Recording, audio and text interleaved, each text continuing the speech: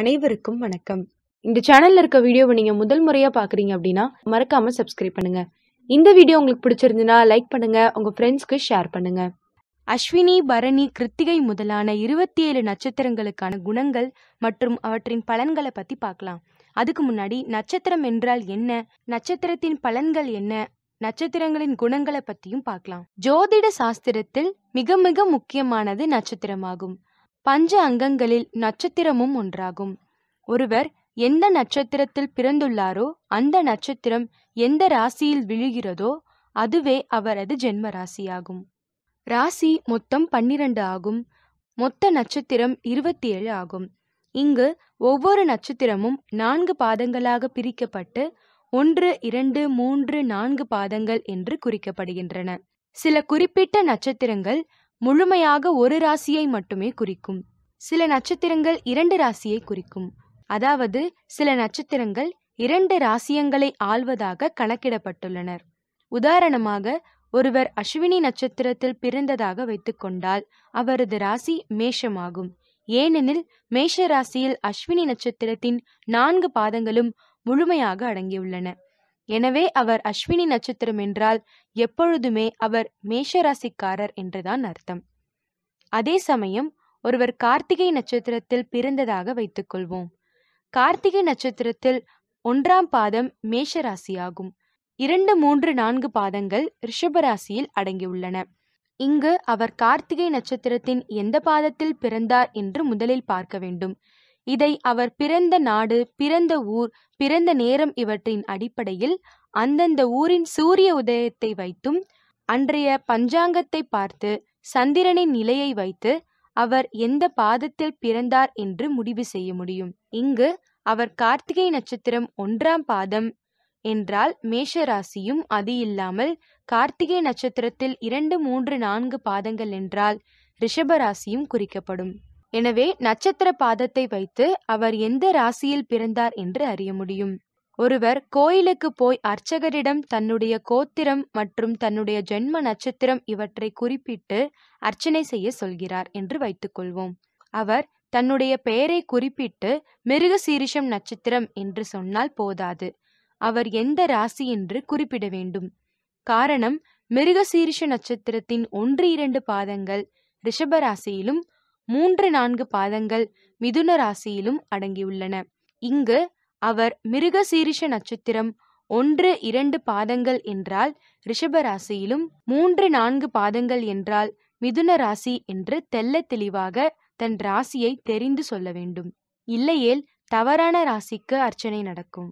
ஒருவர் உத்தராட நட்சத்திரத்தில் பிறந்ததாக வைத்துக்கொள்வோம். உத்தராட நட்சத்திரத்தின் ஒன்றாம் பாதம் தனுசு ராசியிலும் இரண்டு மூன்று நான்கு பாதங்கள் மகர ராசியிலும் அடங்கியுள்ளன. எனவே எல்லோரும் தங்களது நட்சத்திரம் எத்தனையாவது பாதம் அது எந்த ராசியை குறிக்கிறது என்று அவசியம் தெரிந்து கொள்ளல் வேண்டும். அப்பொழுதுதான் கோயிலில் அர்ச்சனை செய்ய திருமண பொருத்தம் பார்க்க யாகம் முதலிய பூஜை காரியங்களுக்கும் உபயோகப்படும். வானத்தில் எத்தனையோ கோடிக்கணக்கான நட்சத்திரங்கள் இருந்தாலும் நம் முன்னோர்கள் ஒரு குறிப்பிட்ட எண்ணிக்கை கொண்ட நட்சத்திரங்களின் கூட்டத்தையே ஒரு நட்சத்திரமாக பாவித்து அவற்றின் உருவம் இப்படி இருக்கலாம் என்று எண்ணி அவற்றின் உருவம் எண் இவற்றை நமக்கு சுட்டிக்காட்டி உள்ளார்கள்.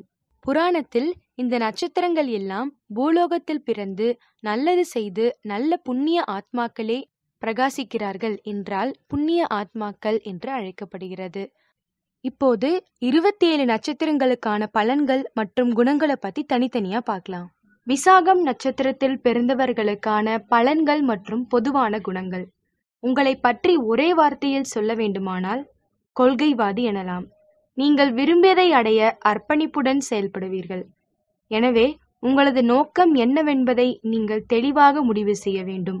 அதன் பிறகு அதனை அடைய உங்களது முயற்சிகளை மேற்கொள்ள வேண்டும். எப்போதும் ஏதாவது வேலை செய்து கொண்டிருப்பதை விரும்புவீர்கள். வாழ்க்கையில் அத்தனை வசதிகளையும் பெற விரும்பும் நீங்கள் காதல் மற்றும் வசதி வாய்ப்புகளை கொண்டாடும் குணம் கொண்டவர் மற்றும் அவற்றை உங்களது வாழ்வின் பகுதிகளாகவே நினைப்பவர்கள். லட்சணமான தோற்றமும் அழகான கண்களும் கொண்டவர் நீங்கள்.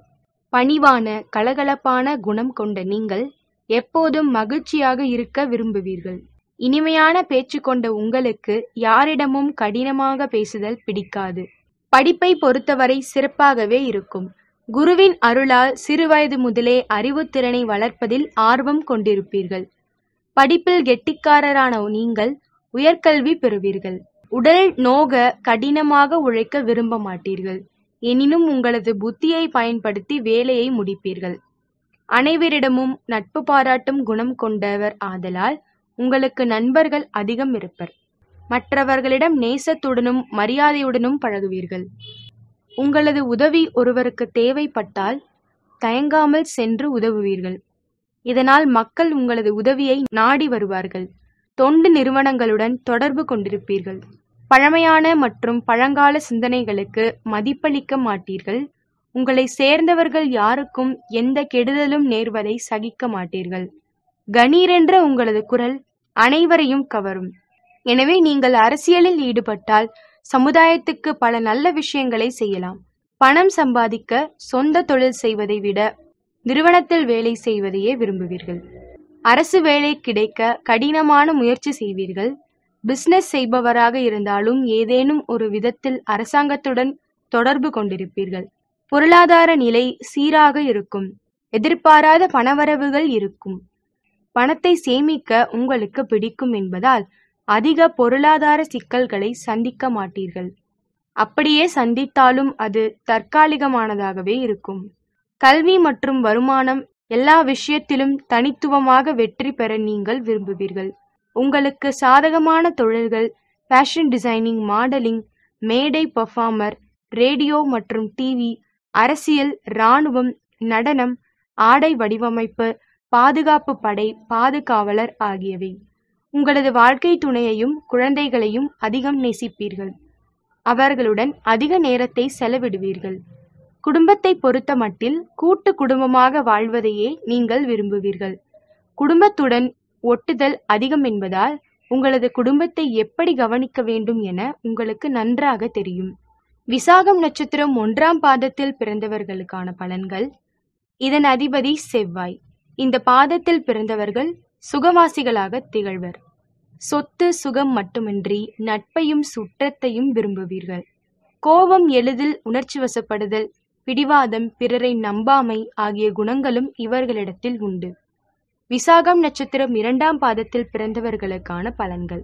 இதன் அதிபதி சுக்கிரன்.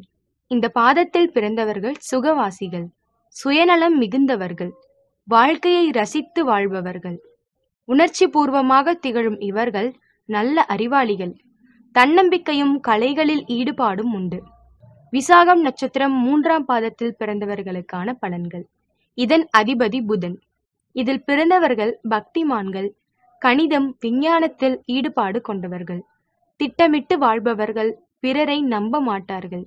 உயர் பட்டங்கள் பதவிகளை பெறுவார்கள். புகழுடன் வாழ்வார்கள். விசாகம் நட்சத்திரம் நான்காம் பாதத்தில் பிறந்தவர்களுக்கான பலன்கள். இதன் அதிபதி சந்திரன்.